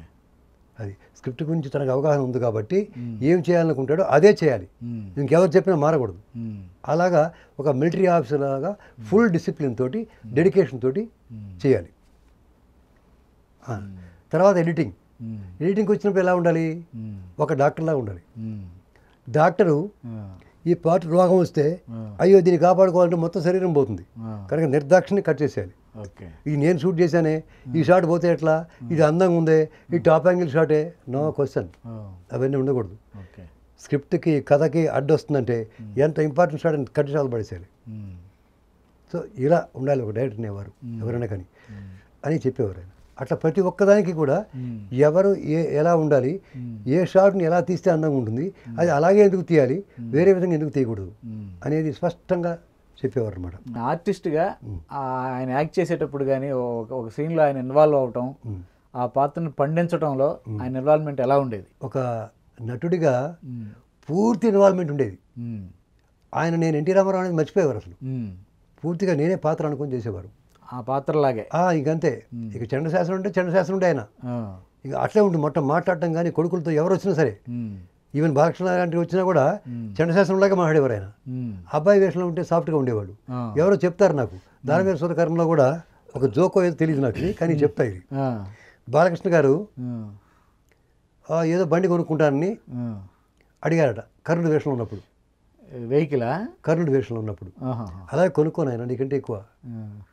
అన్నారట ఈయన కర్ణుడి వేషంలో ఉన్నారు కదా కొనుక్కోను ఆయన. నేను నీకంటే ఎక్కువ అన్నారట. నెక్స్ట్ డే ఇంకో రోజు. వన్ ఫైవ్ డే ఆ రెండు రోజుల తర్వాత ఎప్పుడు. అప్పుడు కృష్ణుడి వేషంలో ఉన్నప్పుడు వచ్చారు. వచ్చి మళ్ళీ అడిగారు నాన్నగారు కొనుక్కుంటానండి. సమయం వచ్చినప్పుడు కొని పెడతామండి. మాకు తెలుసు కదా ఇప్పుడు ఏం కొనియాలి కృష్ణుడి తాలూకు చాతుర్యం అందులో మళ్ళీ ఇంకోసారి. దుర్యోధనుడిగా ఉన్నప్పుడు వచ్చాడు. వచ్చి నాన్నగారు కనుడు ఏ పర్లేదు నీకు పో బయట ముందు దుర్యోధనలో ఉండే స్పీడ్ అంటే ఇది ఆయన మూడు అలా ఉంటుంది. అంటానికి చెప్తున్నాం అది అంటే. పాటలో ఇన్వాల్వ్మెంట్ అంతా ఉంటుంది అండి అదే అదే ఒక అమ్మాయి చెల్లి వేసిస్తే అమ్మ చెల్లెమ్మ ఇలా రండి అది సొంత చెల్లి అనుకుంటాడు ఇంకా ఆయన. ఇక శారద గారు. చెల్లి వేషం వేసింది దాంట్లో చెల్లెలేసు. భువనేశ్వరి అనేవాడు ఆయన. అన్నయ్య అనేది ఆమె ఆ. ఏమి మేము ఇంత గట్టిగా చెప్తే మీరు చిన్నగా చెప్తారు ఏం చెల్లెమ్మ? మీరు కూడా మాలాగే చెప్పండి నా చెల్లెలు కదా. అని అన్నకు తగ్గ చెల్లెల్లా ఆ- ఎలా క్యారెక్టర్- అలా ఉండాలనేమో. శారద గారు నవ్వుకునేవాడు తర్వాత. ఇటు చెప్తే ఎట్టండి అన్నయ్య గారు? అనేది అనమాట ఓకే. సో అలాగా పాత్రలో ఇన్వాల్వ్ అయ్యేవాళ్ళు. ఓకే. ఇక ఆర్టిస్ట్గా చేసే పని ఇంకొక పని చెప్తాయండి ఆ. ఆర్టిస్టులు ఎవరైనా వచ్చేవారు. సెట్కి. ఈ నర ఉమ్. అటువంటి వాళ్ళు వచ్చేవారు. రాగానే పెద్ద రండి తెచ్చండి కూర్చోండి అని ఆయన లేచి కూడా సీట్ ఇచ్చేవాడు పక్కన కూర్చో వేసేవారు. డైరెక్షన్ డిపార్ట్మెంట్ వాళ్ళు కానీ ఎవరైనా టెక్నీషియన్స్ వస్తే ఆ బెదర్ చెప్పండి ఏమిటి విషయాలు అనేవాళ్ళు. నేను అడిగా ఆయన రోజు. సార్ ఇదేంది అన్యాయం సార్? ఏమన్యాయం అండి అన్నారు. మీ ఆర్టిస్టులు ఎవరైనా వస్తేనేమో మ్మ్. చిన్నోడైనా పెద్దోడైనా కూర్చొని కూర్చొని అని మర్యాద ఇస్తారు. మేము. డైరెక్షన్ డిపార్ట్మెంట్ మిగతా వాళ్ళు వస్తే సార్ మీరు మామూలుగా మాట్లాడతారు కదా సార్ ఇంత ఎందుకు ప్రత్యేక అభిమానం వాళ్ళ మీద? అన్నాను. అడిగారండి మీరు? "మ్మ్, అడిగా. మేము వాళ్ళతో కలిసి పనిచేయాలి కదండి. అన్నారు. అండ్ మేము మాతో పనిచేయరు సార్.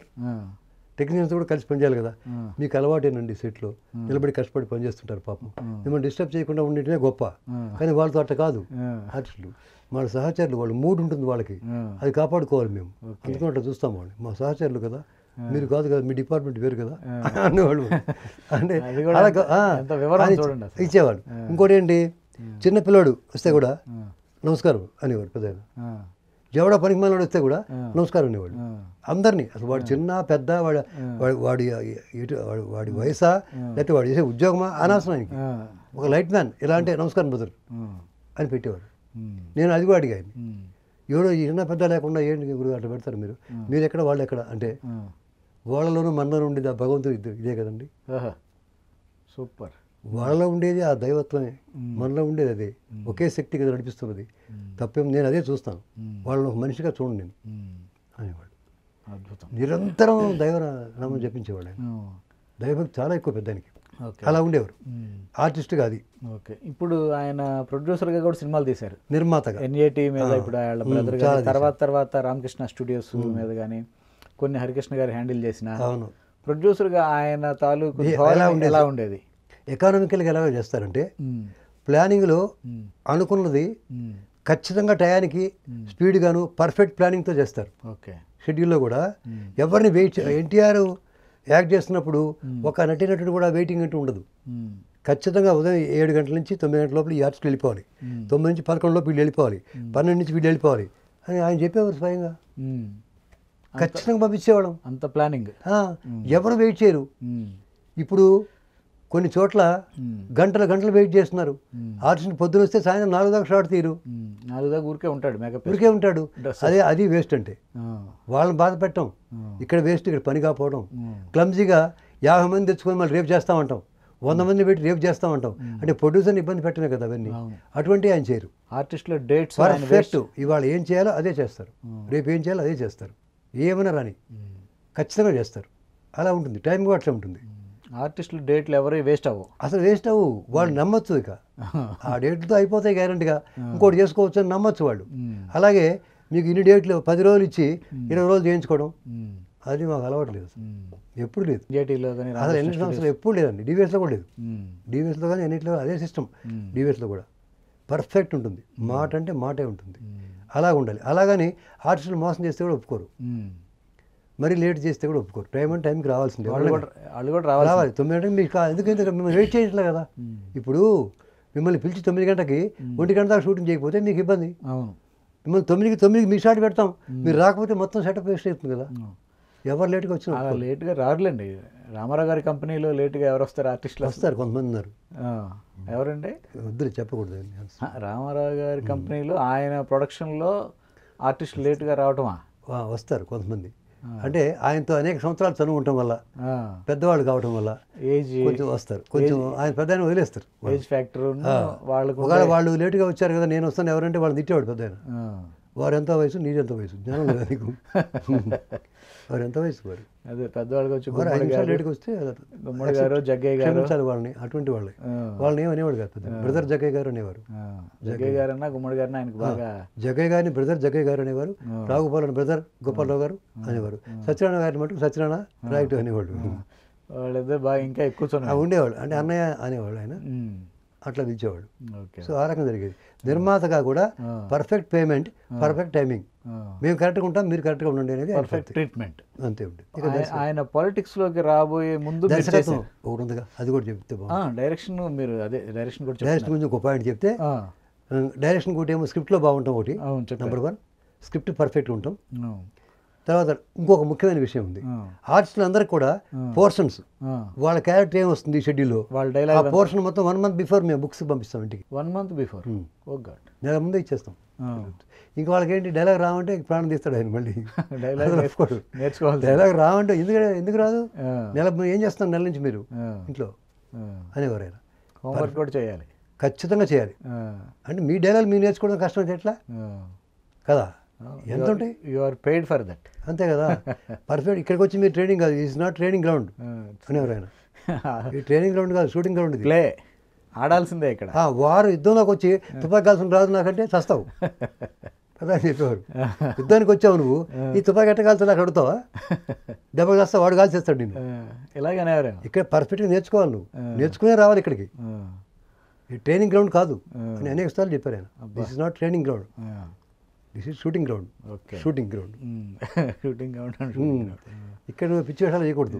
సీనియర్ ఆర్టిస్టులు అందరూ అందరూ పర్ఫెక్ట్గా వచ్చేవారు పర్ఫెక్ట్గా నాతో నాకైతే పెద్దాయన గారు రాజు గారు ఉమ్, మీరు మనిషి మనిషికి చెప్పాల్సిన అవసరం లేదు. ఉమ్. రేపు ఎవరెవరు కావాలో బయట లిస్ట్ పెట్టండి. వాళ్ళే చూసుకొని వస్తారు. ఆయనతో మీకు ఏదైనా టఫ్ టైం ఏదైనా ఉందా? ఆయన బాగా తీవ్రంగా మందలించిన సందర్భం. ఉంది. మీరేదో పుసుక్కున ఏదో తప్పు చేసి ఉంది ఉంది. పుసికని తప్పని జనరల్గా నేను చేయను ఆయన దగ్గర. ఆయన చాలా భయం కదా నాకు. దగ్గర ఎవరు చేయలేదు. చేయను. చాలా పర్ఫెక్ట్గా ఉంటాను అందరికంటే కూడా. చాలా పర్ఫెక్ట్గా ఉంటా అందువల్ల ఎంత గౌరవం ఉంటుంది నేనంటే నేను సెట్లో మాట్లాడుతున్నప్పుడు చిన్న ఆయన వస్తే కూడా ఒప్పుకునేవారు కాదు. ఆ, త్రికరణ గారు వచ్చి నాకు చెప్పేవారు ఏమయ్యా నువ్వేంటి పెద్దలాగా పోజిస్తున్నావు ఆ. నువ్వు ఏంటి అట్లా చదువుకోవాలి దూపుదాం ఏదో అన్నాడు ఆయన. నేను గమ్మునున్నా. పెద్దనాన్న గారు చూశారు తమ్ముడు గారు మీరు రండి వారికి తెలిసి ఏం చేయాలో. అంటే మన మీద ఎంత అభిమానం ఉండేది ఆయనకి. తమ్ముడు గారినే మీరు వచ్చి ఆయన చూసుకుంటారులే.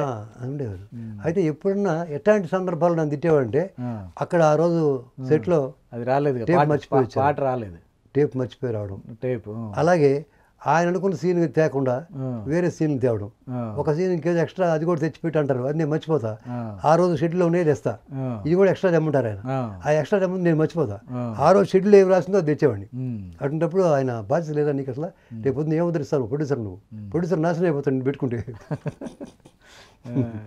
అంతే అంతే ప్రొడ్యూసర్ ప్రొడ్యూసర్ ఫేవరబుల్గా ఉండేవాడు ఆయన. పెద్దలో ఉన్న గొప్పతనం ఏంటంటే ఎనీబడి ఎవరైనా మీరు ప్రొడ్యూసర్ కావచ్చు సార్ రేపు పొద్దున ఇరవై కిలోమీటర్ల దూరంలో ఉదయం ఏడు గంటల షూటింగ్ అని మీరు చెప్పారనుకోండి ఉమ్, ఆయన ఖచ్చితంగా ఆరు గంటల యాభై ఐదు నిమిషాలకు విత్ డ్రెస్ వచ్చి కూర్చుంటారు అక్కడ. ఎవరు రాకపోయినా సరే. కొత్త ప్రొడ్యూసర్ అయినా ఎవరైనా కానీ. అప్కమింగ్ డైరెక్టర్ అయినా. అనవసరం అసలు ఆయన ఖచ్చితంగా వచ్చి కూర్చుంటారు. ఇంకో గొప్పతనం ఏంటంటే డైరెక్టర్ చెప్తుంటే. ఇప్పుడు ఆర్టిస్టులు లెక్క లేకుండా వింటారు కేర్లెస్ అవును. అసిస్టెంట్ చెప్తే వింటారు డైరెక్టర్ చెప్పినప్పుడు వినరు. అప్పుడు ఆయన అంత గొప్ప డైరెక్టర్ హీరో హీరో అయ్యి ఉండి డైరెక్టర్ అయ్యి ప్రొడ్యూసర్ అయ్యి ఉండి. స్టూడియో ఓనర్ అయ్యి ఉండి. ఆయన నేను చెప్తుంటే. చేతులు కట్టుకొని అని వినేవాడు. అబ్బా శ్రద్ధగా. ఎంత శ్రద్ధగా స్టూడెంట్ లాగా వింటారండి ఆయన. అబ్బా.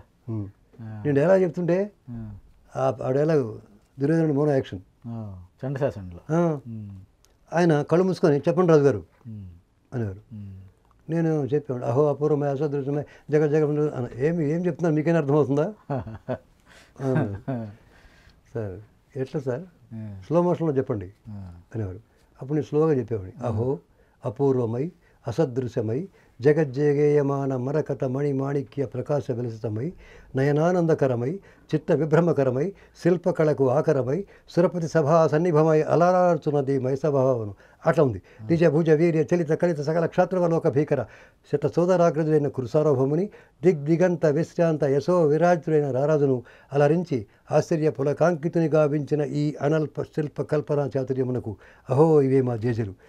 అని చెప్పేవాడు. మళ్ళీ చెప్పండి. మీకు ఇప్పుడు ఎలా గుర్తుంది? గుర్తుంటుంది. పట్టుకొని చెప్తుంటే Raju garu mister Raju forget about if you want become a good director forget script keep it in your brain. అనేవారు అది ఇప్పుడు దాకా గుర్తుంది మీకు? ఆయన కోసం అంత కష్టపడి చదివేవాడిని. ఇది గొప్ప విషయం. చదవాలి. అట్లా నేర్చుకోబట్టి ఇప్పుడు మేము ఇప్పుడు కూడా పనికి వస్తున్నాం అప్పుడే ఆయన రాజకీయాల్లోకి ఎంటర్ అవబోతున్నారు కదా. అప్పుడు పొలిటీషియన్స్ వస్తూ ఉండేవాళ్ళు కదా ఆయన కలవడానికి. ఆ- ఆ పొలిటికల్ పాత్రలోకి ఆయన ఎంటర్ అవబోతున్నారు నిజ జీవితంలో. అవును. ఒక రాజకీయాల్లోకి రాబోతే ఒక రాజకీయ నాయకుడిగా అవును. ఆయన ట్రాన్స్ఫర్మేషన్ ఒకటి జరుగుతూ ఉంది. అవును. ఆ- తరుణంలో ఆయన బిహేవియర్ ఎలా ఉండేది? ఆ పొలిటికల్ ఫీల్డ్ నుంచి వచ్చే వాళ్ళతో ఆయన ఎలా డీల్ చేస్తుండేవాళ్ళు? అప్పుడు నేను ప్రాథమిక దశ నుంచి నేనున్నా తెలుగుదేశం పార్టీ పెట్టక ముందు నుంచి ఆ పార్టీ పెట్టాలనే ఉద్దేశం నుంచి అసలు ఆ బీజం ఎప్పుడు పడింది? అక్కడి నుంచి నేనున్నా ఆయన పక్కనే ఉన్నారు. నేనున్నా అప్పుడు ఎట్లాగా నల్లపల్లి శ్రీనివాసరెడ్డి గారు కాదు కాదు శ్రీనారెడ్డి ముందు రాలే. నా భాస్కర్ గారు వచ్చేవాడు. నాదెండ్ల భాస్కర్ భాస్కర్ గారు వచ్చారు ఉపేంద్ర గారు తర్వాత వచ్చారు. పర్వతనేని ఉపేంద్ర. వచ్చారు. తర్వాత అయితే వస్తున్నప్పుడు ఆ రాజకీయాల్లో చేరతానని ముందేం చెప్పలా. వన్ ఫైవ్ డే జర్నలిస్టులు వచ్చారు ముందు. వచ్చి అడిగారు. అన్నగారు మేము ఏదో ఒక విషయం విన్నాం మీ గురించి. దాని గురించి ఒక మాట చెప్తే బాగుంటుంది కదా అని అడిగారు. ఎనభై రెండులో చివరిలో. అడిగితే బ్రదర్ తప్పకుండా చెప్తాం. ఏ విషయమైనా ముందుగానే మీకు చెప్తాం. మీ సహకారాన్ని తీసుకుంటాం. కొంచెం వెయిట్ చేయండి త్వరపడకండి. ఉమ్, అన్నారు. ఫస్ట్ చెప్పలేదు. ఆ తర్వాత నెమ్మది నెమ్మది నెమ్మదిగా రాజకీయాలు గురించి కన్ఫర్మ్ చేసుకోవడం కన్ఫర్మ్ చేసుకున్న తర్వాత నారాయణ భాస్కరరావు గారు రోజు వచ్చి డిస్కస్ చేయడం. ఎవ్రీడే. ఎవ్రీడే వచ్చేవారు ఆయన. రకరకాల వాళ్ళు రాజకీయ మనుషులు రావడం. తర్వాత వన్ ఫైవ్ డే మా స్టూడియోలోని రామకృష్ణ స్టూడియోలోని ఒక పందిళ్ళు వేసాము కింద పరుపులు వేసాము. వచ్చినప్పుడు నారాయణ భాస్కరరావు గారు ఎన్టీఆర్ గారు ఉన్నప్పుడు. శ్రీనివాసరెడ్డి గారు కొంతమంది ఎమ్మెల్యేలతో వస్తున్నారు. నల్లపరెడ్డి శ్రీనివాసరెడ్డి గారు వస్తున్నారని మాకు తెలిసింది. ఆయన కొంతమంది తీసుకుని ఎంతమంది ఒక ఇరవై మంది ముప్పై మంది తీసుకొని ఆయన వచ్చారు. వచ్చినప్పుడు కింద కూర్చున్నారు. కింద కూర్చున్నప్పుడు పెద్ద గారు మాట్లాడారు. మాట్లాడుతూ మేము చాలా సంతోషంగా ఉంది. ఇప్పుడు మాకు బ్రదర్ శ్రీనివాసరెడ్డి గారు వచ్చారు. మాకు కుడి భుజం వచ్చినట్టుగా ఉంది అన్నారు. ఇటు చూశారు కిందకి. భాస్కరరావు ఉమ్, అలా ఉన్నాడు. బ్రదర్ భాస్కర్ గారు ఉన్నారు అనుకోండి మా ఇద్దరు రెండు పుదాలు రెండు తమ్ముళ్ళు అని అన్నారు పెద్ద అన్న వెంటనే ఆయన హ్యాపీ అలాగా మొదలైంది. మొదలైన తర్వాత ఈ అది ఎలా ఉండేదంటే స్టూడియోలోనే ఎన్టీఆర్ రూమ్ ఉండేది. యువతల రూమ్ మేము కూర్చొని ఉండేవాళ్ళం. Direction department department. ఈ నారాయణ భాస్కర్ గారు వచ్చేవారు. ఇది భాస్కర్ గారు అనేక విషయాలు చెప్తున్నారు ఆయన గురించి. అవి నిజాలు అబద్ధాలు భగవంతుడు తెలియాలి. ఇప్పుడు ఛానల్స్ చాలా చోట్ల చెప్తున్నారు ఆయన ఆయన గురించి. రకరకాల మాటలు అంటున్నారు. పోయిన తర్వాత అలా మాట్లాడటం తప్పది.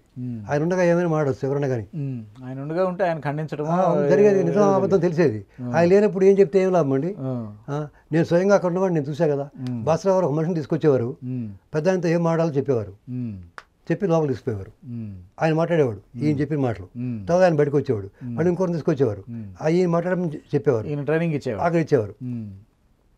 నేను పెద్ద ఆయన గారితో చెప్పా. భాస్కర్ గారు ఇట్లా మాట్లాడుతున్నారు సార్. అక్కడ వచ్చి ఇట్లా మాట్లాడాలని చెప్తున్నారు.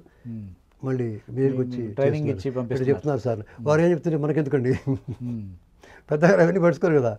వారి ఇష్టం వచ్చింది వారు చెప్పుకొని ఉండి మన ఇష్టం వచ్చింది మనం చెబుదాం.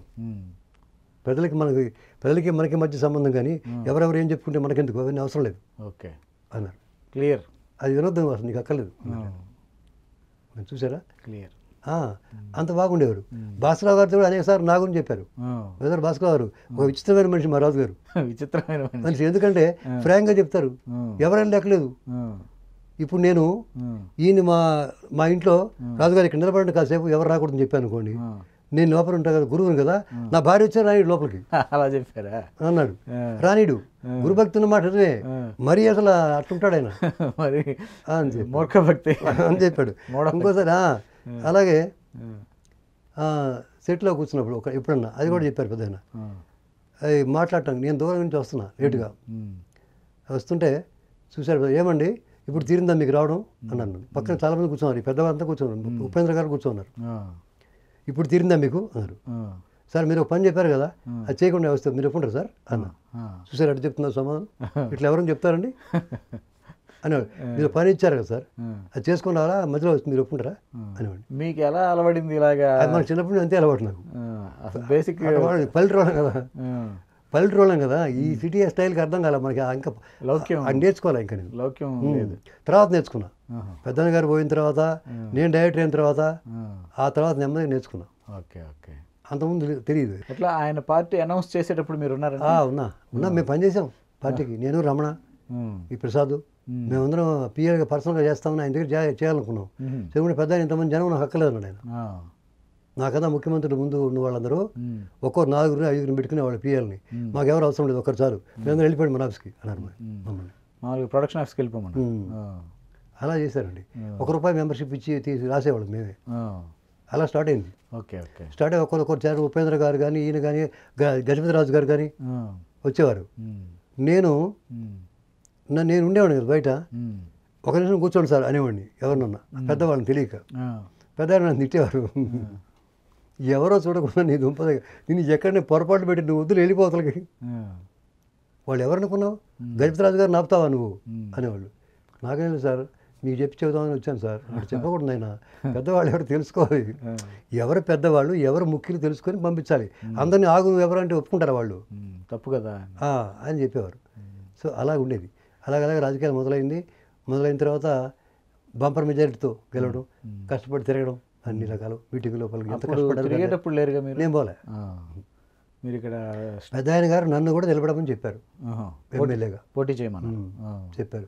నాకు వద్దు సార్ రాజకీయాలు ఇష్టం లేదు సార్ అన్న. అది ఎందుకు అక్కర్లేదండి? డబ్బులు ఏం అవసరం లేదు. మన పేరుతో ఎవరైనా గెలుస్తారు నిలబడండి మీరు అన్నారు. నాకు వద్దు సార్. నాకు అవసరం లేదు. నిలబడి ఉంటే ఎమ్మెల్యే అయి ఉండేవారు. ఎమ్మెల్యే అండి మినిస్టర్ కూడా చేసేవారు. మినిస్టర్ కూడా నమ్మకంతో మన మీద. అవి మనకి ఇష్టం లేదు. రాజకీయాలు ఎప్పుడు ఇష్టం లేదు. అలా జరిగింది. ఆయన ముఖ్యమంత్రి అయిన తర్వాత యాక్సెస్ కలవడం. చాలాసార్లు కలిసి. చాలాసార్లు డైరెక్ట్గా వెళ్ళేవాడిని చాంబర్కి. ఇంకోటి చెప్తా ముఖ్యమైనది ముఖ్యమంత్రి అయిన తర్వాత జరిగిన సంగతి. చంద్రశాసనం ఎడిటింగ్ అవుతుంది అప్పుడు. ఎడిటింగ్ అవుతుంది సెక్యూరిటీ గార్డుతో పాటు వచ్చేవాడు ఆయన. డబ్బింగ్ చేపిస్తానికి వచ్చేవాడిని. వస్తే రాజుగారు అయిపోయిందా? అనేవారు. ఇంకా ఉంది సార్ ఉండండి సార్ అనేవాడిని. ఆ. నీ దుంపదగా ముఖ్యమంత్రి అయినా బతకయ్యావు నువ్వు. అనేవారు. ముఖ్యమంత్రి అయిపోయారు. ఎడిటింగ్లో కొంచెం ఇన్స్ట్రక్షన్ చెప్పడం కోసం ఒక రోజు మన ఫైవ్ డే లేకుండా నాలుగింటి కారు వచ్చింది నాకు. CM car. ఓకే. ఇక్కడికి స్టూడియోకి. ఓకే. వస్తే ఏంటంటే సీఎం గారు రమ్మని అన్నారు హడావుడిగా పరిగెత్తుకుంటూ వెళ్ళా. ఇది ఒక మంచి కథ ఇది చెప్పి ఆపేస్తాం. ఈ హడావుడిగా వెళ్ళా. వెళితే అక్కడ ఎన్టీ రామారావు ముఖ్య ఆంధ్రప్రదేశ్ ప్రభుత్వం ఎన్టీ రామారావు గారు ముఖ్యమంత్రి అంటుంది కదా అక్కడ. ఆ చాంబర్ లోపలికి వెళ్ళా. లోపలికి వెళ్ళగా ఈ ముగ్గురు నలుగురు కూర్చున్నారు. Yes you can go. అన్నారు వాళ్ళు. నేను లోపలికి వెళ్ళా. నమస్తే సార్ అన్నా. ఉమ్. కమ్ము నిలబడ్డా. కూర్చోండి. నిలబడ్డా. కూర్చో. కూర్చున్నా. ఆయన అప్పుడు సీఎం. కూర్చున్నా. రాజుగారు. ఇప్పుడు మేము మీకు ఎడిటింగ్లో కరెక్షన్ చెప్తాం. సరే సార్. అన్నాను. సీని కార్డు తెచ్చారా. తేలేదు సార్. పేపర్లు తెచ్చుకున్నారా? తేలేదు సార్. పెన్ తెచ్చుకున్నారా? తేలేదు సార్. అయ్యో అయ్యో మరి తమరు ఎందుకు వచ్చినట్టు ఇక్కడికి? Exact words. మరి తమరు దేనికి వచ్చినట్టు. మీరు పిలిచారని భయం పుట్టి వచ్చాను సార్. సరే అక్కడ నుంచి తీసుకోండి ప్యాడ్. ఆ. ప్యాడ్ తీసుకొని. పెన్ తీసుకొని చెప్తుంది రాసుకుంటున్నా. కరెక్షన్స్. చిన్న చిన్న. రాస్తున్నా. ఇలా రాసిన తర్వాత అక్కడ పెట్టిన ఇంకా అయిపోయింది మీరు వెళ్ళచ్చు. ఆ. ఆగబెట్టి పెన్ను జైల్లో పెట్టుకున్నా. పెట్టుకున్నాను. అలవాటు కావాలని కాదు పెట్టుకున్నా. మామూలుగా పెన్ను జేబులో పెట్టుకుంటాం కదా. ఆ పెన్ను అక్కడ పెట్టండి ప్రభుత్వం వారిది మంద కాదు. అక్కడ పెట్టాను అరే ప్రసాద్ వచ్చారా? నా ప్రసాద్ పిలిచి పిఏ. పాపం రాజుగారు ఎప్పుడు వస్తారు ఇక్కడికి? లోపల ఛాంబర్స్ అన్ని చూపించరా ఆయనకి? అంటే ఆ. సీఎం ఛాంబర్ చుట్టూ ఉన్న ఛాంబర్స్ మంత్రుల ఛాంబర్స్ నాకు ప్రసాద్ గారు చూపించిన తర్వాత కారులో మళ్ళీ ఇంటికి వచ్చాను. అది అలాగే చూశారు మీకు అది అది కూడా నా పిక్చర్ షూటింగ్ అప్పుడు చంద్రశాసన్ మా నా పిక్చర్ కబీర్ దాస్ మొదలైనప్పుడు కూడా సీఎం ప్రొడ్యూసర్ పది మంది తీసుకుని వెళ్ళా సీఎం గారి దగ్గరికి. వెళ్ళా. మీ. ఛానల్కి మీ స్టాఫ్కి అందరికీ ధన్యవాదాలండి. ఓకే. నమస్కారం. Thank you thank you Raju garu. Ramarao గారితో మీ అసోసియేషన్ గురించి ఆయన యాక్టర్గా డైరెక్టర్గా ప్రొడ్యూసర్గా పొలిటీషియన్గా ఆయన తాలూకా వ్యక్తిత్వం గురించి కూడా మీరు చక్కగా తెలియజేశారు. Thank you sir thank you very much అండి. Thank you sir right